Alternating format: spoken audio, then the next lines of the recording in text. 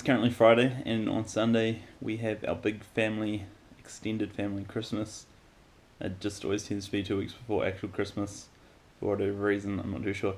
Anyways, I'm the only vegan that's going to be there.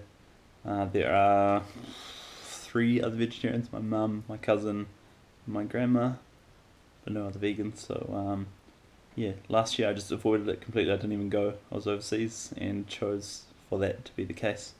But this year is going to be a different story. I'm going to make at least two meals, of course, all vegan, and I'm going to promote it. And yeah, hopefully everyone's going to like my food.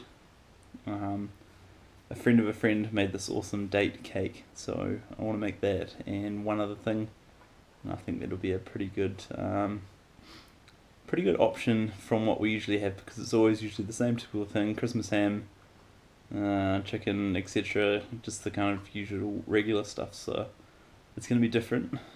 I'm going to make a follow up video, so be sure to check that out. Um, I'll let you know how it went and whether any comments were made and what people thought of my food, etc. etc. And that's that for now.